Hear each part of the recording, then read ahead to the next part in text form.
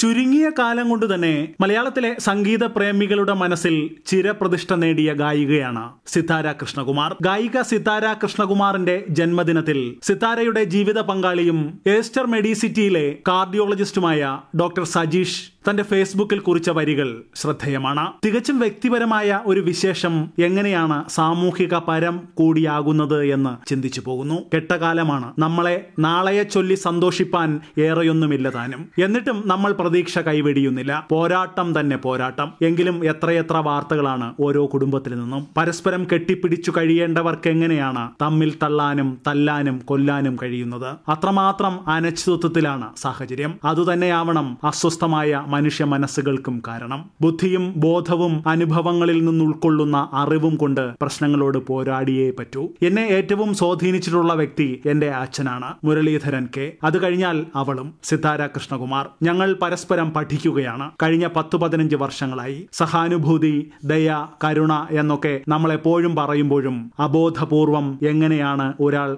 സഹജീവികളോട് സഹവർത്തിക്കേണ്ടതെന്നും പരസ്പരമുള്ള ബഹുമാനം സ്വാതന്ത്ര്യം എന്നിവ സത്യസന്ധമായി എങ്ങനെ നൽകാമെന്നും ദിശാബോധമുള്ള കഠിനാധ്വാനത്തിലൂടെ എങ്ങനെ വിജയിക്കാമെന്നുമെല്ലാമുള്ള പാഠങ്ങൾ. ആ അർത്ഥത്തിൽ ഗുരുവും എല്ലാ അർത്ഥത്തിലും കൂട്ടുകാരിയുമായവളെ ഈ പിറന്നാളിലും വരും നാളുകളിലും ആശംസകൾ. എത്തേണ്ടിടത്തെത്തുവാൻ എത്രയുണ്ട് എത്രയുണ്ടെന്നറിയാത്തൊരു യാത്രയിൽ ഇനി നമ്മളിൽ ഒരാളിന്റെ നിദ്രയ്ക്കു മറ്റൊരാൾ കണ്ണിമ പൂട്ടാതെ കാവൽ നന്ദിയിടണം അറ്റ് സിതാര കൃഷ്ണകുമാർ. പ്രിയ ഗായികയ്ക്ക് പിറന്നാൾ ആശംസകൾ നേർന്ന് ആയിരക്കണക്കിന് പ്രേക്ഷകരാണ് സോഷ്യൽ മീഡിയയിലെത്തുന്നത്. ആയിരത്തി തൊള്ളായിരത്തി എൺപത്തി ആറ് ജൂലൈ ഒന്നിന് മലപ്പുറം തേഞ്ഞിപ്പാലത്ത് ജനിച്ച സിതാര കൃഷ്ണകുമാറിന് ഇന്ന് മുപ്പത്തിയഞ്ച് വയസ്സ് പൂർത്തിയായി. ഇതിനകം മികച്ച ഗായികയ്ക്കുള്ള സംസ്ഥാന ചലച്ചിത്ര പുരസ്കാരം രണ്ട് തവണ സ്വന്തമാക്കിയിട്ടുണ്ട് സിതാര കൃഷ്ണകുമാർ. രണ്ടായിരത്തി ഏഴിൽ അതിശയൻ എന്ന ചിത്രത്തിൽ അൽഫോൺസ് ജോസഫിന്റെ സംഗീത സംവിധാനത്തിൽ ഗാനം ആലപിച്ചുകൊണ്ടാണ് സിതാര കൃഷ്ണകുമാർ ചലച്ചിത്ര ഗാന രംഗത്തേക്ക് എത്തുന്നത്. ഈ വിഷയത്തെക്കുറിച്ച്